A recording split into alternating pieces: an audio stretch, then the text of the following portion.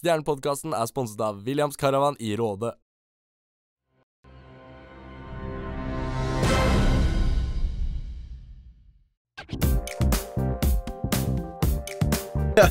Jeg heter jeg.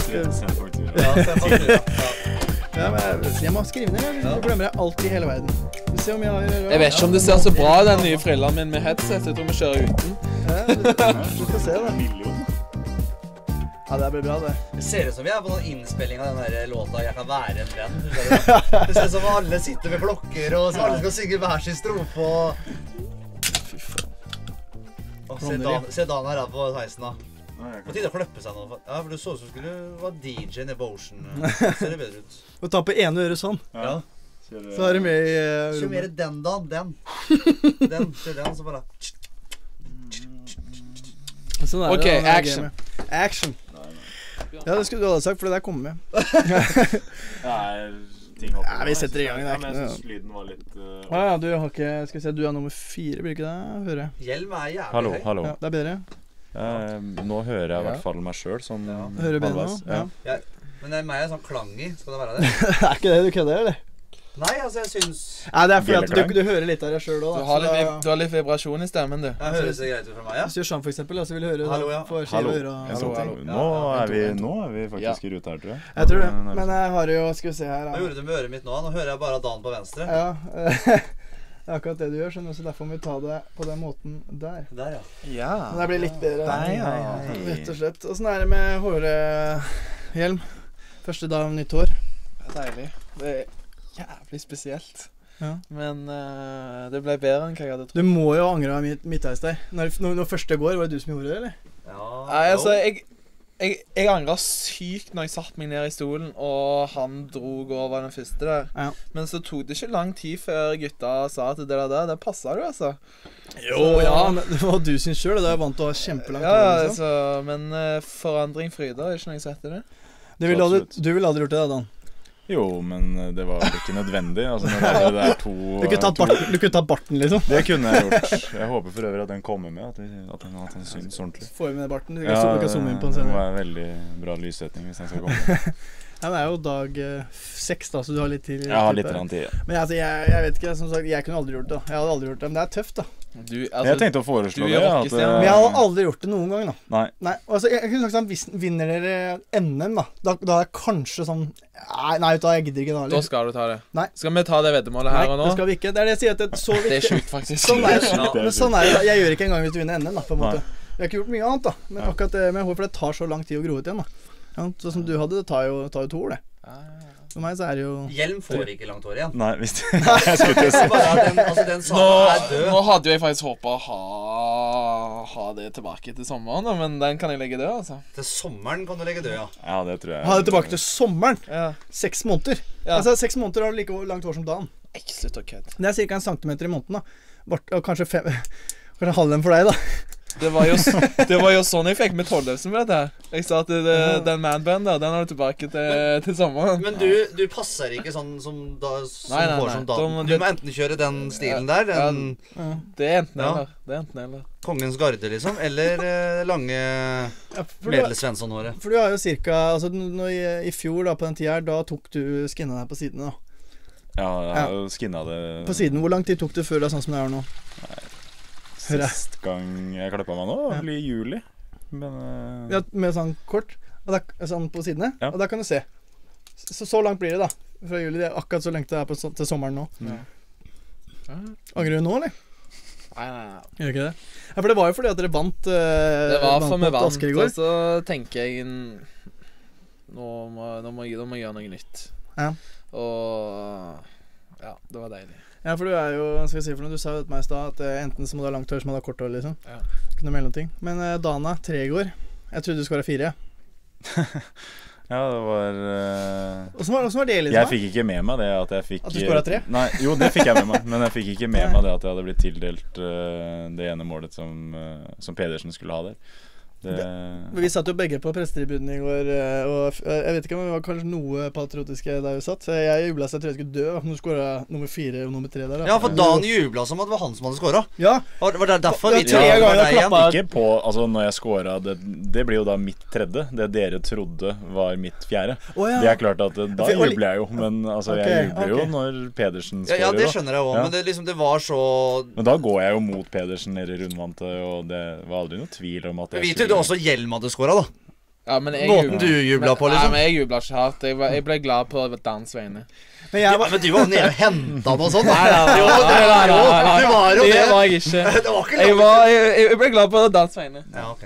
Men det var jo like før jeg kasta hatten til han som satt ved siden av meg. Jeg trodde du skulle hat trick. Tenk hvis jeg gjort det, så hadde det ikke vært hat trick likevel. Nei, den hadde vært Men nå skåra jeg jo heldigvis et til, da. Så da hadde du jo gjort opp for deg der. Om kasta jeg på to, det er flaut, da. Ja, det hadde vært litt pinlig. Hvordan var det, liksom? Hva skjedde da? da? Plutselig bare tre, if, Og så var det en ekte hat trick, da. Det var det som var kult med det. Det var ikke Det var vel et par Det var vel en frisk scoring imellom der, i hvert fall. Men uh, en, og, en og samme periode, i hvert Ja. fall. Det, det kan jeg ikke huske sist jeg gjorde, nei. Jeg kan ikke huske noen som har gjort det. Jo. Ja, du gjør jo sikkert det, da. For du har sett Filip, Rond eller Filip Rondal, sier jeg. Rondal skåra jo. På en periode? I en periode. Tre mål oppe på Lillehammer. Ja. Gjør det? Første matchen hans i stjernedrakta. Første matchen. Første matchen der oppe, så skåra han tre mål i første periode. Ja, Det er sterkt, altså. Ja. Ja, det er sjukt. Men uh, eh, nye kameraten i går, han imponerte meg ganske greit. Hva heter han igjen? Til nummer 21? Simon Karlsson. Karlsson. Det ble bra. han. Ja, han var jo med ut på tre av de første fem måla, sånn fikk jeg med meg iallfall. Men det virker som liksom en spiller som kan Hva skal jeg si for noe? Er jo stabil back, liksom. da Tør å holde i pucken. Ja, Ja. På offensiv spillende- Spillende offensiv back, så Ja. det ble bra. Men åssen er det med Hva skal jeg si for noe som eh, Åssen er det i gruppa, liksom? Har du fått noe sånn snakka med deg, eller er det litt sånn tilbakeholden ennå? Nei, men det, det er jo sånn når du kommer inn i et nytt lag, da. du er litt eh, du, du er litt tilbakeholden, da. For, da- for da er Ja, men jeg synes samtidig så syns jeg han har glidd ganske greit inn. Han virker som en veldig fin fyr. eh, Sosial og ålreit, Når er han eh, Når er han kom igjen? Var det på Fredag? Fredag, ja. Så sent, ja. Han ble raskt på det. Ja, det er helt utrolig bra. Altså. Så, Mm. Nei, han virker som en eh, fin fyr, han. Men jeg skal si at han kommer jo ikke til stjernen på det absolutt beste tidspunktet når det kommer til helga, da. For det er jo, vi har jo alle fått med seg det at det har vært uh, mye rundt stjernen nå i det siste pga. en uh, sånn der møkkapodkast som har gått en stund. Så er det liksom sånn Ja, du Brøk har vært veldig aktiv i dette her med liksom å forsvare guttene, da. Uh, fordi at du vet at Nettavisen har rett og slett gått ut og bare lagd en sak av noe som ikke egentlig er en sak, og gjort et bilde av stjernen som er at Ordet blir brukt alkoholproblem. Jeg vet ikke Ja, det i fyll er Ja. vel også ting som har blitt brukt. Men uh, det blir jo veldig storm i vannglass, dette her. Uh, nå har jo jeg flydd ut og inn av garderoben i, i ti år. Uh, fra jeg begynte, så er det vel kun Dan igjen. Han var jo han på en sånn backpackertur rundt i Norge eh, på noen klubber. Men han kom jo tilbake igjen, Dan. Og eh, jeg har vel opplevd, eh, med hånda på hjertet, si at det, eh, har vært mer kalabalik rundt eh, Stjernen, og ikke minst FFK, Ja. eh, før eh, enn det det er i år. Så jeg vil nok si at årets utgave av både FFK og Stjernen er kanskje det mest edrue laga jeg har opplevd under min tid. Ja, men det er- er jo jævlig typisk at det skal bli sånn som det blir nå. Ja, men jeg forstår også Er det pga. resultatene? Ja, altså Nå står jeg selvfølgelig mellom barken og veden her, for jeg er jo øh, Å si kamerat med guttene utafor isen, samtidig som øh, jeg vil Stjernen øh, vel, og, og hjelper til øh, i, øh, når det trengs fra, fra styre og stell. Så Men øh, jeg forstår at man selvfølgelig setter fokus på det. øh, at man skal, øh, skal ha regler på det med alkohol. Eh, og, så- og så Altså Skulle det være tilfelle at en sponsor da har gitt uttrykk for at eh, dette her liker jeg ikke, så er selvfølgelig det en, en varsellampe man må ta uh, seriøst. Og det må man ta internt, og så sjekke, om, uh, sjekke kilder, og, og sjekke om faktisk det her er, er reelt. For det holder med at én sier det en gang, da sier at det, faen, guttene skal dømme For de kjenner, kjenner dere igjen en gang på byen, liksom, så er det skal dømme dere ute nå, liksom. Altså, men så vet jo ikke dem at det, dere, det var den ene gangen dere skal ute, da. Så sprer det seg, ikke sant. Så jeg mener, da. Jeg vet ikke åssen er dere ser på dette her. Jeg føler, jeg føler at det blir sånn det, så, det kunne vært hvilket som helst lag, da, men, eh, på en måte. Men jeg det er litt sånn urettferdig òg, kanskje, siden du sier at det har vært såpass litere eh, som det har vært, da, eh, rett og slett. Og det er, som, det er noen som skal ha klikk på dette her, da, og det er det som har skjedd, liksom. På en Mm. måte. Ja, jeg Men jo det jeg må si, hvis jeg skal ta Bjørn-Viggo i forsvar, så er det at eh, det å ta det opp til debatt syns jeg er en god idé. Fordi det er mange som lurer på det. det er, mens han er hockeyen, det er mer eh, liksom Man er Hva skal jeg si for noe? Mer synlig, bla, bla, bla. Det begynner å få et litt sånn derre uh, Hva skal jeg si for noe? Stempel på seg som uh, toppidretts elitesport, og det begynner å bli kjente ansikter. da Men jeg uh, syns ikke et, Jeg, jeg syns det var mer av det før, da. Det det, så jeg vet ikke åssen har dere håndtert de siste dagene, egentlig?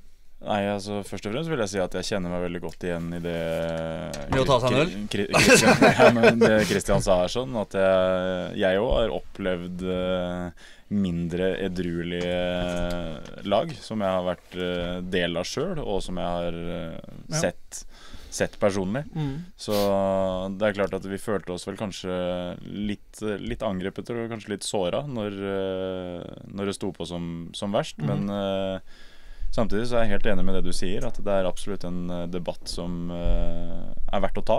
Og så er det en vanskelig situasjon, tenker jeg, fordi at eh, sånn som Bjørn da, hvis det er noen som kommer bort og sier det til han, da Ikke? At, at den gutta som ah, På en måte må han på en måte ta det òg, hvis du skjønner hva jeg mener. For at, eh, men samtidig så kan det være at det- er noe At sånn er det ikke, da. Nei, nei, men det er klart det er jo jobben. han må ta tak i det. han vet ikke. ikke Nei, sant? nei, og, så, og i tillegg så bruker han kanskje anledningen her da for å, for å faktisk ta det opp og si at vi har faktisk fokus på det.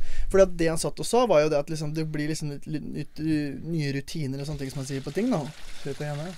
Og plutselig da så, og plutselig da så ender vi opp med å prate liksom om- litt med det alkohol og sånn, og så begynner folk å dra det i den retningen de syns er ålreit, og viser et lite klipp av det. Ikke hele, da, for samtalen er 20 minutter lang da, om kun det. ikke sant så jeg vet ikke. Det er en sånn situasjon som plutselig blir bare blåst opp av ingenting. da Men hvis du på en måte går på byen, du er samboer og du går på byen, og så treffer du da en gammel klassevenninne som du ikke har sett på ti år, så står du da med ølen din, og hun står med drinken sin, og dere snakker om gamle dager, åssen det var i mattetimen i femte klasse.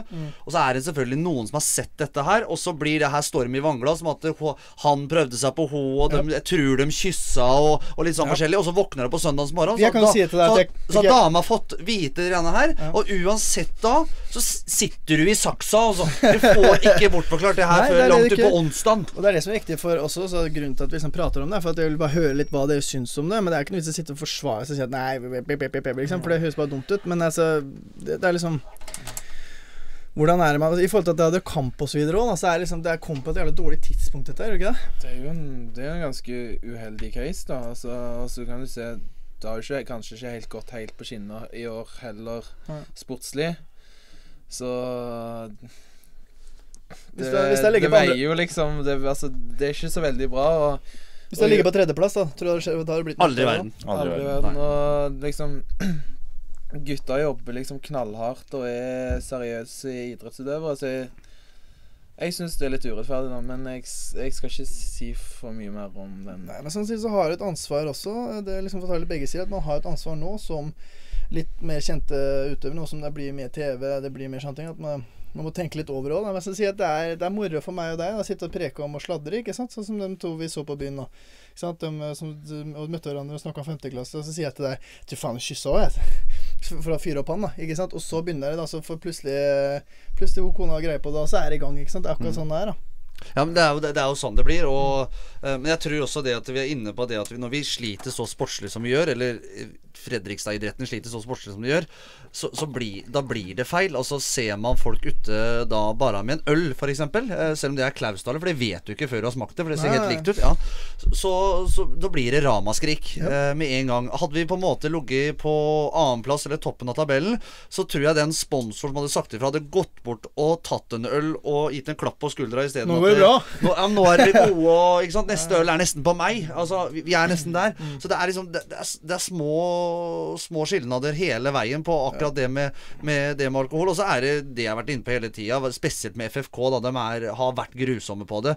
Og det er det at man bør ikke kjøre høy sigarføring når man først er ute. Eh, eh, hvis man ligger der man ligger. Eh, Tenker du å det- da, eller? ja, eller nå tenker jeg mer på at man kjører øh, champagneflasker og, og bretter opp kragen som Erik Cantona og litt sånn forskjellig. Det, men men, men, det, men, det, men det har ikke Det har skjedd før, men, men det skjer jo ikke lenger. Så, så at debatten ble tatt opp, det, det, det er jeg helt enig i. Men at det på en måte blir vinkla mot ned mot vårt lag, A-laget, det tror jeg verken med Viggo eller spillerne eller vi som Altså, det tror jeg ikke var meninga Nei. i det bunn og det hele. Det Ja, tror jeg ikke. og så er det morsomt, for som sagt, du har vært veldig aktiv i kommentarfeltet. Folk syns det er morsomt å harselere med det, da.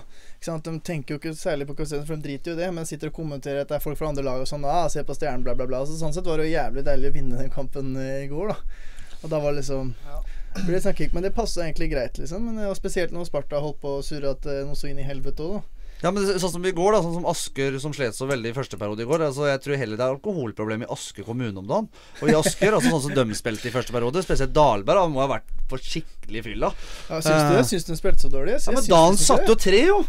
Jo, men jeg, jeg, jeg, jeg. Jeg samtidig så syns jeg ikke Jeg syns ikke den spilte eh, Hva skal jeg si for noe dårlig. Eller jeg syns bare Stjernen gjorde Altså klart det ble noen mål der som liksom Du får ett, du får to, og så får du fyr i laget, da. Ikke sant?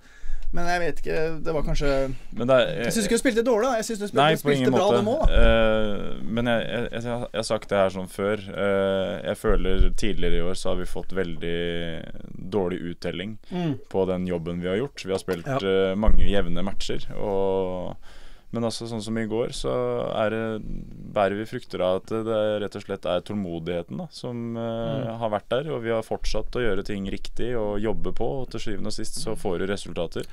Og da går vi fra å ha en, eh, en stolpe ut-match, som vi har hatt en, ja. en god periode nå, med bare stolpe ut-matcher, Ja. til plutselig å ha en stolpe inn-match der alt går inn. Ja, men det er litt moro. altså, Det er, det er litt deilig å føle Man blir, blir litt sånn annerledes stemning når man begynner å skåre mål. Liksom. Gjør ikke det i laget? At man liksom får litt mer eh, Hva tror du om det?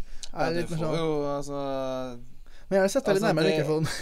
Altså, det er jo Det er jo Det er ikke stor forskjell fra helvete til himmelen, liksom. Nei. Det er liksom én match som i går, og så Man trenger kanskje en Og så sånn kick i ræva for ja, å liksom Og så er vi høyt oppe, og Men så er det jo det som har slitt med før, da. Å holde det stabilt. Ja. Altså holde det på et høyt nivå. Altså Det nytter ikke å spille mot Sparta neste tirsdag og så tape 5-0. igjen. Nei, det er akkurat det. Altså Da er vi tilbake der vi var. Så Men du må For det, jeg syns jo også er overraskende bra powerplay, syns jeg.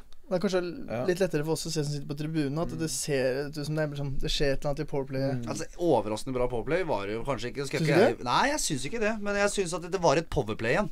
Ja, har ok, vi ikke- ja, jo, jo, men å, det har vi ikke bedre, hatt. Ja, det, det, det er enn det det har vært. Det har det vært. Ja. Men det som er så spesielt, det er jo egentlig morsomt at Hjelm er med her nå. For at jeg sendte en melding til Hjelm etter andre treningskampen mot Sparta, var det vel. Og jeg sa at eh, hvis ikke det skjer noe nå, så kommer ikke dette laget her til å gjøre mye mål. Sa jeg. Og nei, da fikk jeg beskjed om at vent og ikke krisemaksimere, og det var ikke måte på. Ja. Så hadde vi vel første serierunden, så hadde vi vel kanskje Ja, vi skulle ha gjennomsnitt 1,7 mål per match.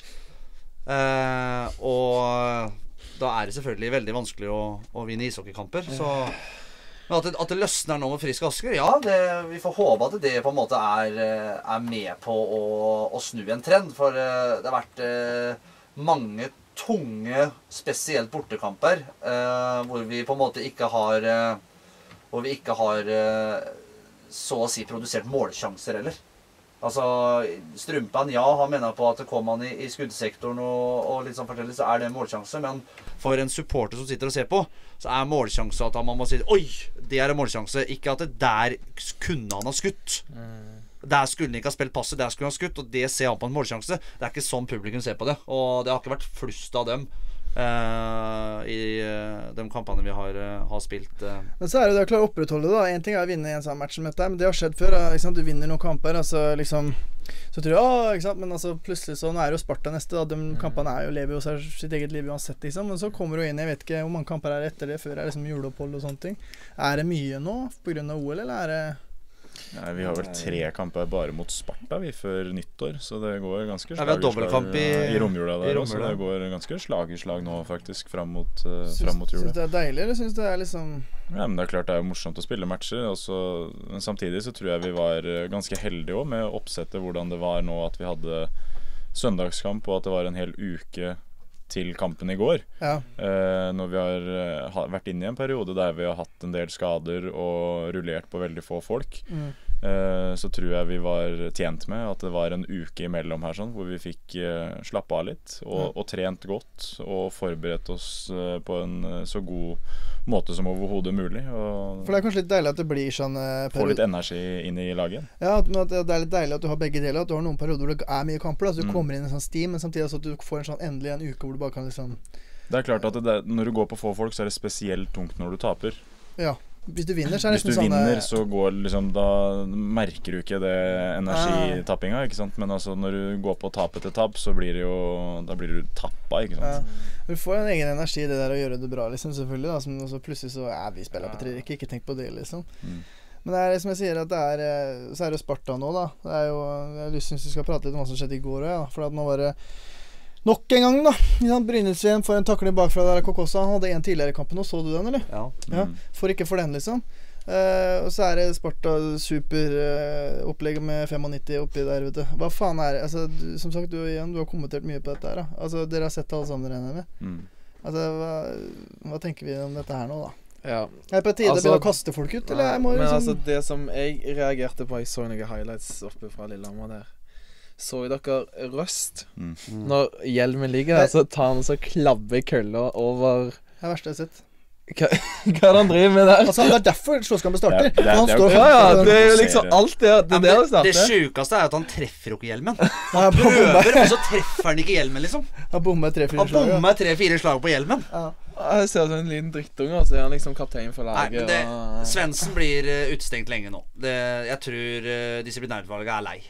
Jeg håper at disiplinærutvalget er lei. Eh, for at der, Ja, Svendsen er Svendsen. Eh, han eh, er eh, en hyggelig fyr, han. Det er ingen tvil om det. Men Det er ikke det vi han, snakker om. nei, men han får rullegardin, og det, det, vi kan ikke gi rabatt pga. at en, en person er en fin fyr. Det går ikke lenger. Nei, det ikke- det. Nei, det går ikke. Men ja, altså, det gjelder jo ikke For det bare der er overlagt, liksom. Det er ikke en stygg takling. Det er, ikke, det er bare han går inn som tredjemann på en fyr som er halvparten av hvor høy han er, liksom. Og bare ja, det, bak ryggen på han andre. Ja, men Det har vært så mange situasjoner i årets uh, Gateliga. Uh, dem på Bjørsland i, på Hamar. Vi hadde den i Stavanger. Vi hadde jo vel Ylven som hadde en i Askerhallen.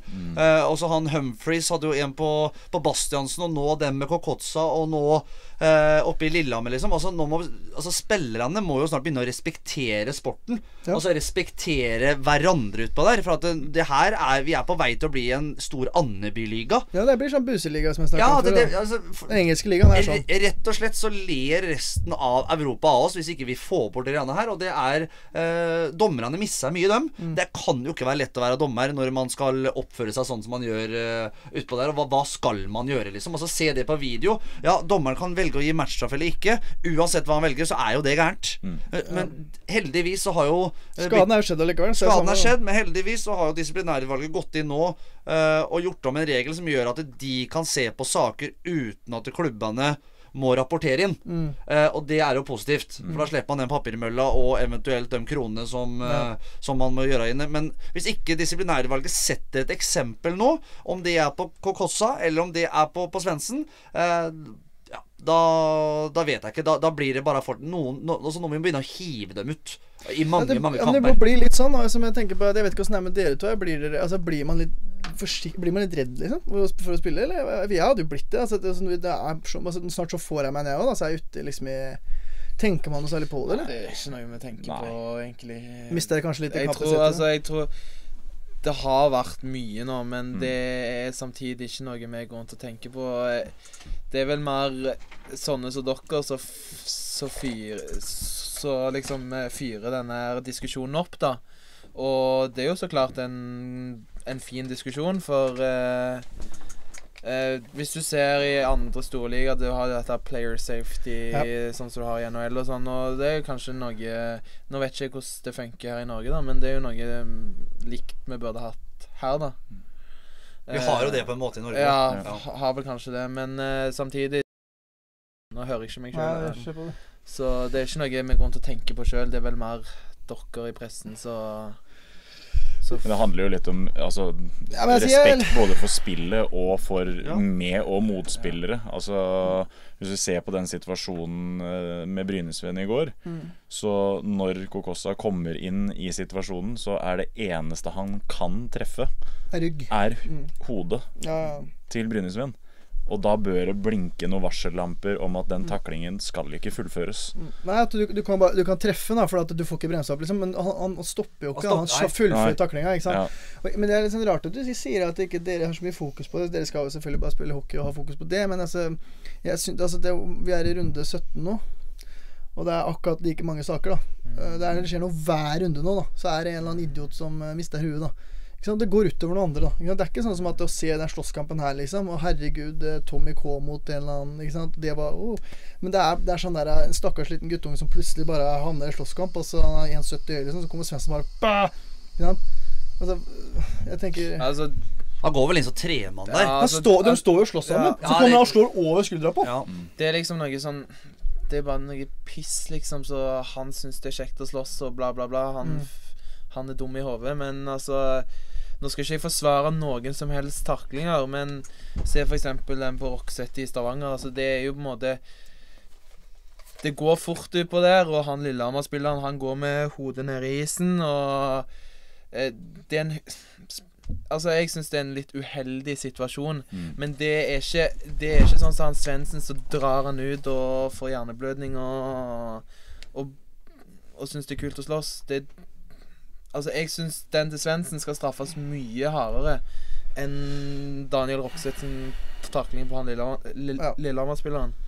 Ja, du har kanskje rett i det, men altså, det, er, det er vanskelige saker alle sammen. Da. Problemet er jo egentlig ikke hvem som blir straffa mest med det. Problemet er at folk må slutte å gjøre dem. Ja. Så jeg mener, og da, Hvor høy straff skal du få? Da skal du få, skal du få liksom, ja, Du er utestengt, eh, utestengt i tre måneder, da. Liksom. Og så, og så blir det slutt på det, liksom. Eller jeg tror tror ikke det kommer til å hjelpe noe. Tror jeg, for at spillet, spillet går for fort nå. Nei, altså, du Guttene er ikke raske nok det, i huet, det det det, det blir som i NHL. Altså, du må sette et eksempel et eller annet sted. Ja. Og, og, og jeg tror det, dessverre eh, blir jo det, da. For, for Sparta og Svendsen så er det han som får det eksempelet. Eh, Ja, det, det tror jeg. Ja, altså det, det tror jeg. Og, og da bør jo det liksom være slik at eh, Ok, nå, nå har vi satt et eksempel på det. Nestemann som gjør noe sånt nå, ryker de matchene rett ut.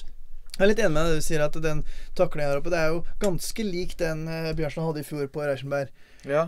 Mm. Men han hopper inn, og den er litt Men samtidig så er det sånn Men der, Det er altså- in the moment, da. Men når du går inn, akkurat som han fyren oppe i Frisk gjorde på- eller han eh, gjorde på Bastiansen Når du gjør sånne ting som det er, så er det med overlegg. Du har tid i mellomtiden her på å la være å gjøre det, og så velger du å ta valget. Jeg går inn og gjør det likevel. Da mener jeg at det er eh, Altså, Du har ikke noe ligaen her å gjøre, da. Kom deg ut, for faen. Ikke den sjø jeg mener, da. Uansett hvis du Det er bare tull, da. Steffen Thoresen hadde vel en sånn eh, Han er på en Ja, først to ganger var når han spilte i Lørenskog, så hadde han jo en sånn Koivu. Koivu. Ja, ja Koive. stemmer det. I Storhamar. Ja. Han òg måtte jo Fikk vel Fikk ikke han oppimot 20 matcher, da? Eller 15, eller? Han fikk en del for det Jeg husker Ja, det var, ikke ja, det var i hvert fall lenge ja. han var, var vekk. Men den var veldig tydelig, for det var sånn, det var ikke i spill engang. Det var ikke en slåsskamp. Han gikk og tok den bare. Ja. Men, men det er som du sier, jeg liker ikke at folk eh, sammenligner det på en måte. Nei, men hadde du gjort noe sånt nå, da, ute blant folk, liksom, på, hva heter det for noe, på gata, liksom, så da er du bura inne en ganske lang stund, da. Jeg er så lei av å, å høre det, for det, det er to helt uh, forskjellige verdener. Det er det. Så det, Men det sam- som skjer på idrettsbanen, er uh, på en måte litt egne altså, Du kan ikke, Det gå, du det kan ikke ta med deg våpen inn og drepe igjen, og så får du lavere straff for å være på idrettsbanen. Det er ikke det jeg mener. Men, men i spillets gang og i en forseelse som er da en, i en regel i den idretten, Ja. det kan ikke sammenlignes da med, med ting som skjer på åpen gate. For det er helt andre regler for. Jeg eller syns jo ikke det, men jeg syns, syns ikke det at det liksom Det er At det blir at vi må- Hva skal jeg si for noe? Når det er såpass ille som det er, så må vi begynne å tenke litt på det. òg. at det sånn Ja, det er ikke slåssing lenger, det er overfall, da. Ja, at- en ting er slåssing, liksom, du, men det er, det er direkte overfall etter at kampen er ferdig. Liksom. Jeg sitter også spørsmålstegn ved dommerne. Jeg, jeg, jeg forstår ikke hvorfor dommerne ikke lar Altså hvorfor lar de uh, Lillehammer-spillerne komme over på Spartans side? Det Eh, er jo 25 spillere som er ute ja, ja, ja, ja, ja. Nei, jeg skjønner det, men hvorfor ikke på en måte gi beskjed om at dette her er ikke greit? Eh, det er helt utrolig at der, og Hvis du ser på dommeravgjørelser som eh, Når jeg har vært borte i Sverige og sett litt på, på hockeyallsvenskan der borte altså Hver dommeravgjørelse så går altså Hvis det er for eksempel en utvisning, så går uansett om man er feil eller ikke, så går personen og setter seg. Uten at det blir noe tull. Er det icing, så prøver man ikke å lure en Linddommer på å si at jeg var på isen, og at Linddommer går til å hente noe. Det er kun i Norge det skjer. Og i Norge blir ikke ishockeykampene ferdig, for vi er så opptatt av å krangle på hver icing, hver offside. Alt mulig sånt noe. Det er jo Dan et prakteksempel på. Eh, har jo aldri vært enig i en avblåsning i norsk ishockey ennå. Men er det fordi at dommerne er uh, Lett påvirkelig. Ja, det er én ting, da, men sånn som dere som er på isen, da. Er fordi at de er sneipete i kjeften, dem òg? Eh, Nå deler ikke det, den opplevelsen det, som du har der. Jeg aner ikke det. krangler med icinger og offsider og Vil jeg tørre å påstå at jeg har blitt ganske mye bedre. Ja, det har du. Det, det har du, det har du. Men, sånn, men det jeg lurer på, hvorfor tar en ishockeykamp i Norge kortere tid, eller lengre tid, da, enn en, enn en svensk ishockeykamp? Jeg vet ikke, men er det for at Det tar- Det, er veldig mye utvisninger i norske kamper. Det, det, Det- det er det, det. det, Og Det ofte, tar jo tid. ja, og hvor ofte skal man Hvor ofte står man og snakker med dommeren og er uenig om det ene og det andre? Men spørsmålet er er det fordi at dommer, altså er dommerne litt mer sånn er det, mye, er det mye sånn kakling på isen? Er de snerpete, liksom, dommerne i Norge? Eller er de Åssen er, er egentlig forholdet dere imellom? Er det sånn at dere snakker sammen, så er ting i orden? Eller er det litt mer sånn aggressiv, litt sånn sur tone, egentlig? Hvordan opplever altså, Nå snakker jeg sånn veldig mye med dommeren, men Nei. eh, hvis jeg snakker med dommeren, så prøver jeg å ha en hyggelig tone med, med dommeren. Det er kanskje litt forskjell på dommerne? Så det varierer jo fra kamp Ja. til kamp og fra forseelse til Mm. forseelse, liksom. Og så Ja. måten du tar opp, eh, opp ting på, om det er eh, rolig og sofistikert, Mm. eller om det er brått og brutalt, det varierer jo selvfølgelig. Det er sikkert litt vanskelig òg, når du først står der og har 190 puls, og så skjer en ting du ikke er enig i. Og... Det kan fort koke litt, ja. Mm, Det jeg, kan det. ja, for jeg syns det er sånn ugreit av dommere. Da, at hvis du har liksom Du er gått alt du kan fra egen sone, og så får en offside, og så bare faen, så roper du sånn, da. Så får du ti minutter. Sånn. Det syns jeg er liksom Du blir tullete, da.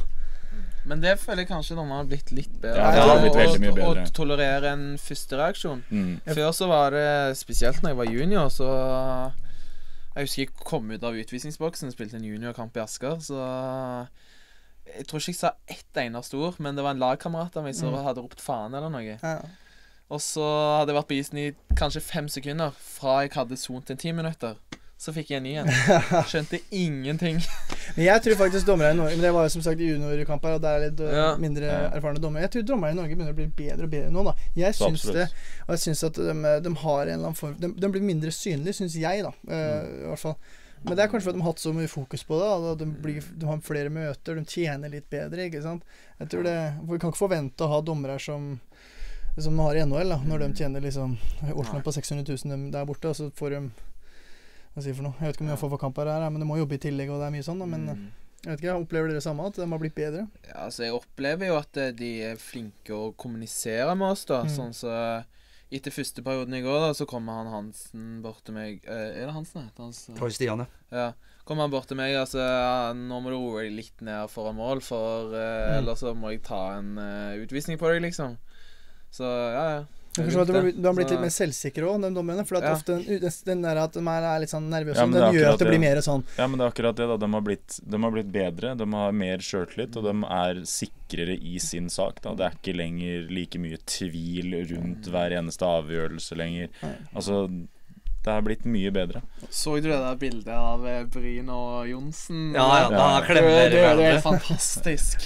Årets bilde. Ja, det er årets bilde. Og så er, er det jo det at eh, altså, Som sier at eh, hvis, hvis du, du er altså, Du vet at du er, liksom, du er rolig og fin som dommer, at, så vet du at da han, han er kjempesliten og forbanna liksom, og han, du vet at han kommer til å rope, da, så liksom, ja ja, de lar det være, da.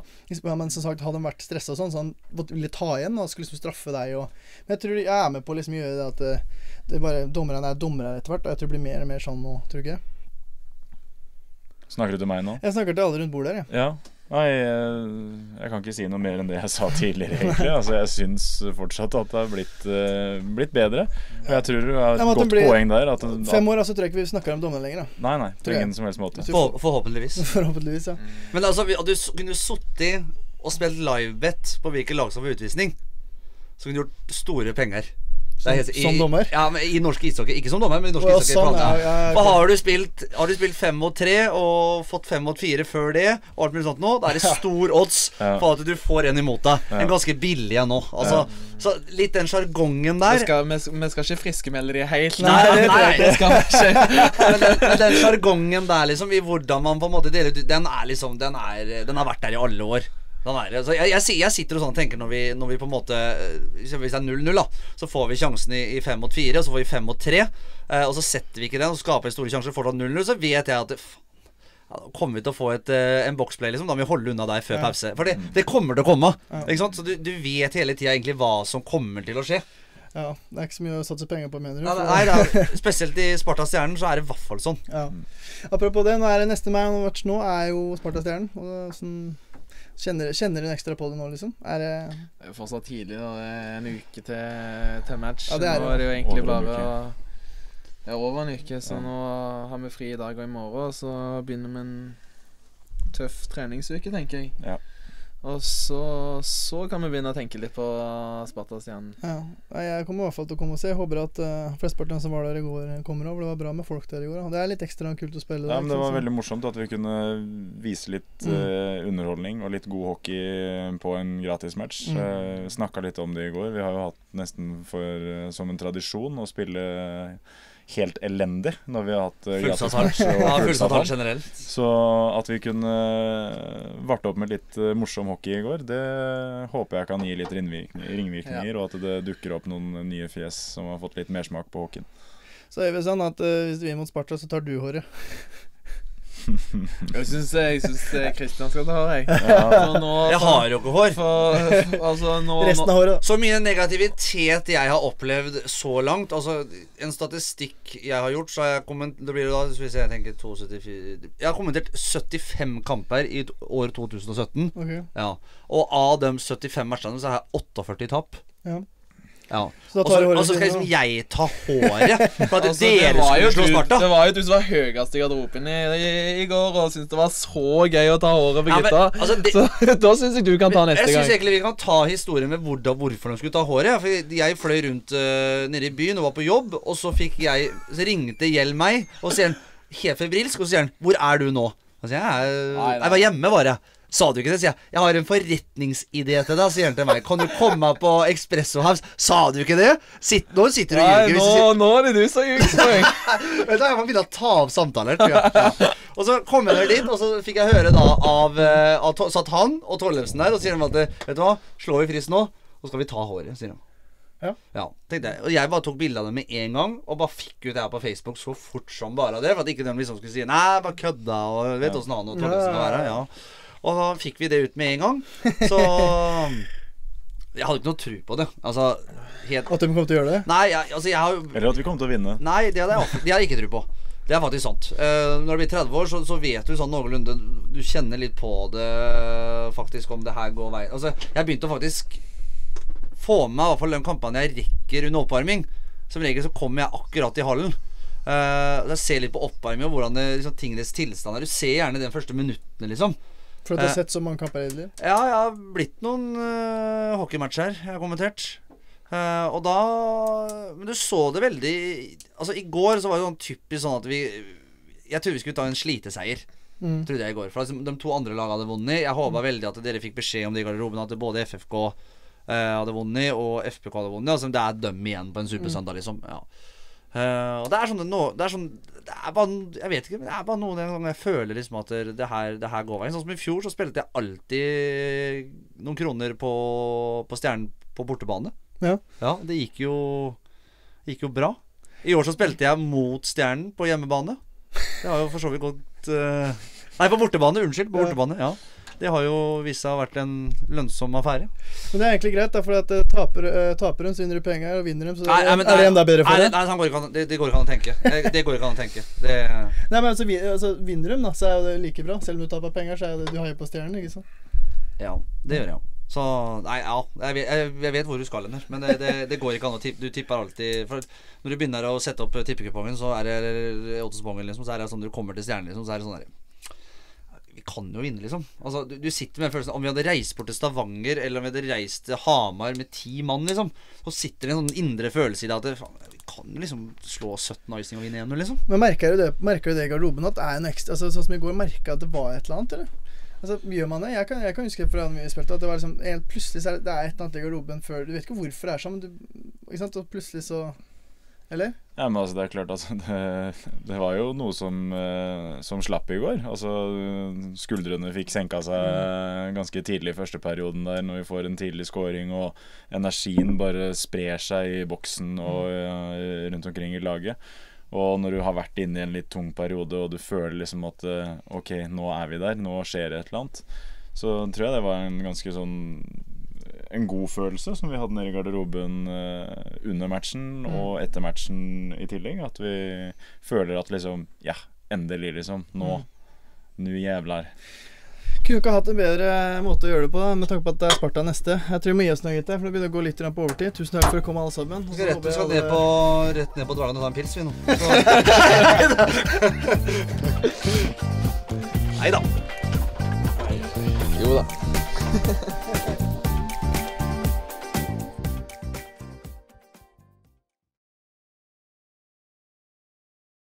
Stjernepodkasten er sponset av Williams Caravan i Råde.